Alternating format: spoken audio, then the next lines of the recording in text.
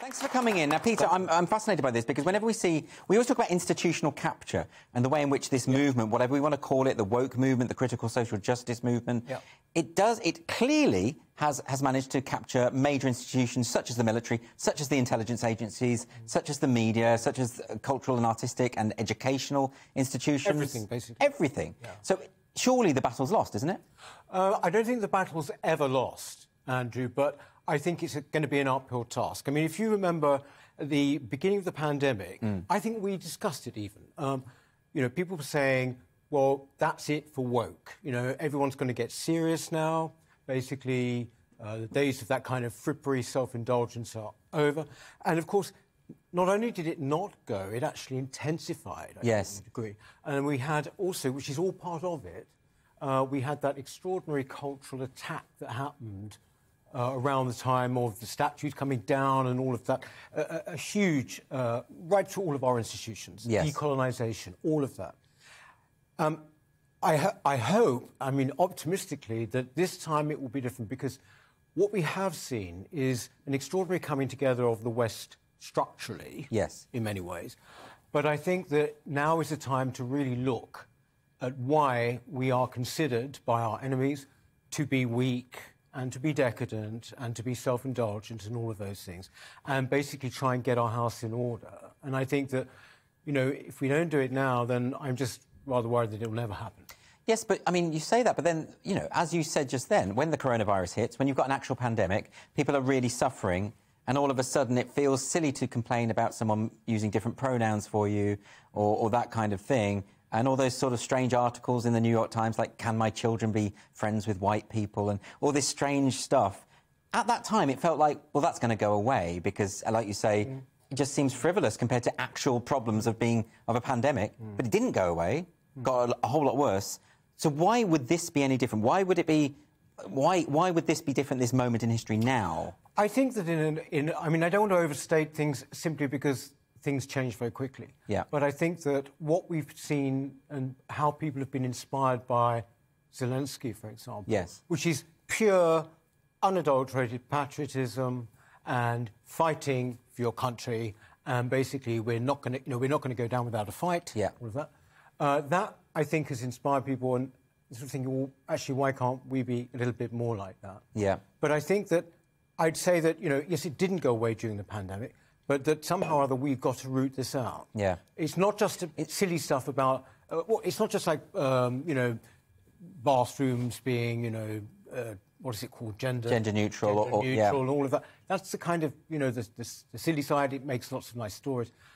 I suppose what worries me more is that the full-on attack on our history, uh, yeah. the going through all institutions, all our schools, that is seriously weakening us in the West. I think this is a really interesting point because a lot of people, when they think of these stories, and I cover them in this show almost to take the mick a bit, you know, stories about yeah. changing the name of the gypsy moth yeah. to the spongy moth. You know, and we can have a laugh about that, or the rain, painting everything in the rainbow colours in that mm. gaudy thing, mm. and and you know we, we have we can have a laugh about it, but it actually signals something a bit more sinister than that. Oh, absolutely, and also you you mentioned uh, the MI6 chief uh, during you know I think it was last week he tweeted out saying, you know, I'm going to continue to tweet about LGBT rights, uh, you know, because that's the thing that marks us out primarily from, uh, from Russia, for example. Yeah. Well, first of all, that's not true, actually. But, but secondly, you sort of think, this is embarrassing. This is the head of MI6 at this time.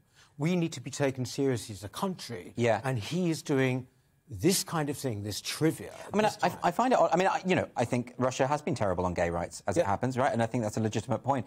Um, but you know, by suggesting that we still have an issue, we have equal rights for LGBT yeah, people. Yeah. We have that, so it's, it's secured. So, so what, what is that all about? What, the, in other words, it's about priorities, right? Well, it's about priorities, but I would also say that undergoing, uh, you know, underlying a lot of this sort of stuff that we've have been going on for what a few years now. Yeah.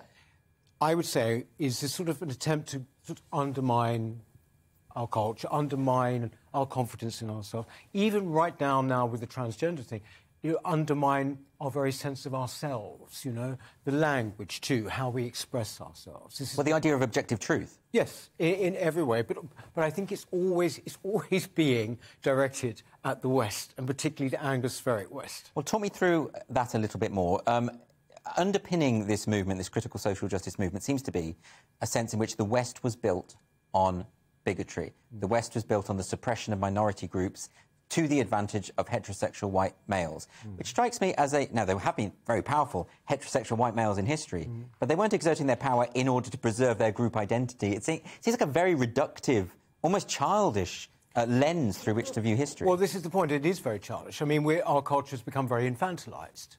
You know, I mean, it is, you know, and, and basically every issue, or many issues now for these people, is seen through how does this make me look? Yeah. How, how do I feature in this? What should my reaction be? And you just think this is how a child yeah. behaves. The, narcissistic element of it. Very narcissistic. I mean, I quoted something, there was a very good article by Matthew Syed, I think it was, in the Sunday Times today, and he there was this great statistic in it. it he was quoting from somebody else, actually. Apparently, students were asked, um, do they agree with the statement, I am a very important person?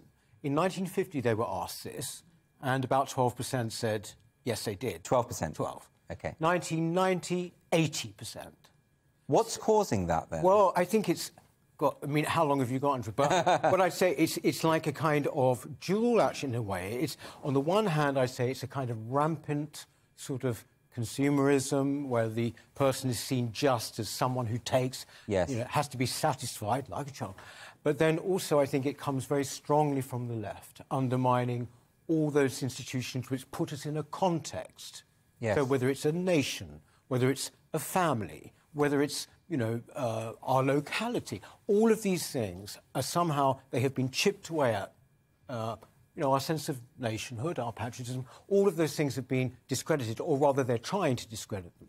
So it comes down now solidly to the person, the individual, you know. And I, yes. if there's one thing we could take out of this whole crisis, for me, it would be it would be great to start talking about we again as opposed to I. Yes, I understand. I mean, for me, it would concern me less if this were just the activists online making their noise, saying we need to decolonise all the cricket, yeah. tear down the statues, whatever. What bothers me is the figures of authority who then say, yes, OK, we'll go along with that. You're making enough noise. Even though you don't represent the majority of people, yeah. we're scared of you, so we'll do what you say. When Sheffield University put out that video saying that the only reason we study Chaucer and Shakespeare is because they were white men. Yeah.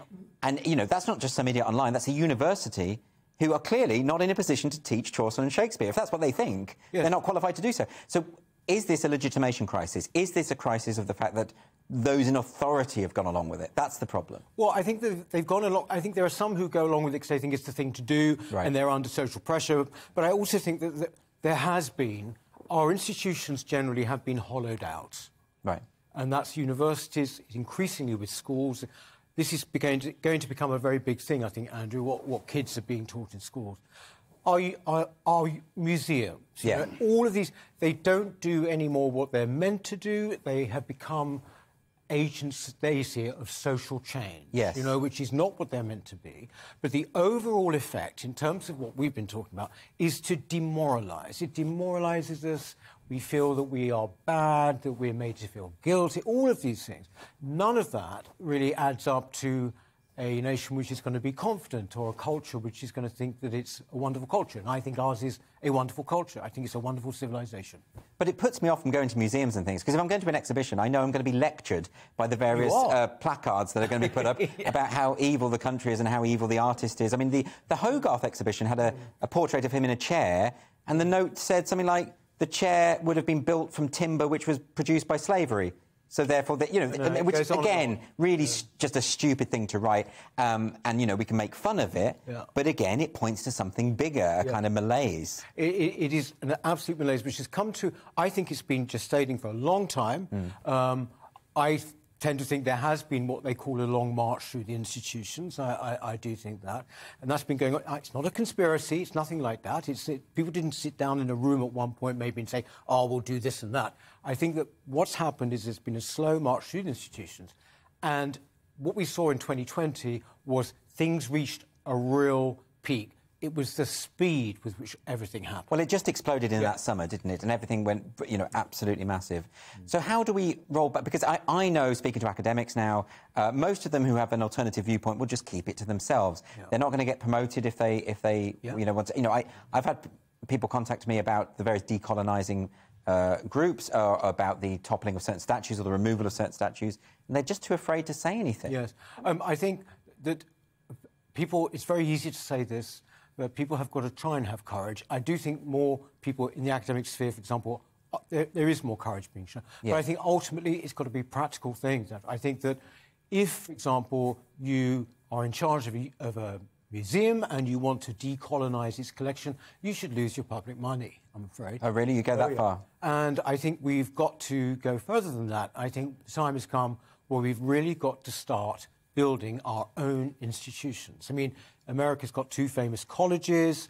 Um, one is called Hillsdale. I think there's one in Austin. There's where- one in Austin, yeah. There's, there's Ralston College in Savannah as well, which is coming up. so- Right. We've got to start. It's harder in this country. We, get, we have less money. We have less people with money willing to put their uh, money where their mouth is.